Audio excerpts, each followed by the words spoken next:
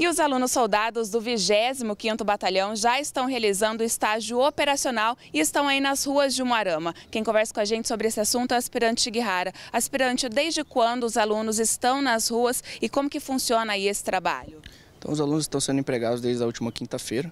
Já até participaram de um, de um evento que esteve ali na cidade de Brasilândia do Sul, é, tiveram essa oportunidade de participar desse evento de é, grande proporção, é onde tinha muitas pessoas ali reunidas, é, e agora estão sendo aplicados aqui na cidade de Umuarama e serão aplicados aí no decorrer do mês né, e até o final do curso deles, que no caso é, a previsão é que se encerre no final do ano. E como que funciona o cronograma aí de trabalho deles? E eles também podem já realizar as abordagens? Como que é?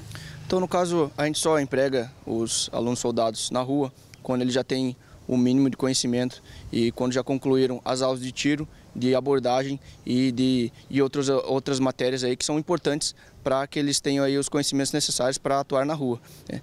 Então, eles já estão há, há algum tempo aí, na, na, no caso, estudando, né? Faltam poucas aulas teóricas né? E poucas aulas práticas. Então já estão quase formados já, né? Mas ainda faltam algumas coisas para para se concluir o curso, né? mas e uma parte do curso é essa, esse estágio operacional. Então eles estão qualificados para realizar a abordagem, né? mas é claro que a gente fala para eles que, e até é, está, no caso, dentro da técnica, que eles têm que ter a segurança, segurança deles, segurança da equipe e dos terceiros que estão em volta. Né? Então, estamos aplicando eles na, na área central, né, para que é, as pessoas tenham é, essa sensação de segurança e que vejam os policiais e claro que se tiverem alguma situação suspeita, eles irão realizar a abordagem. E sempre tem algum oficial por perto?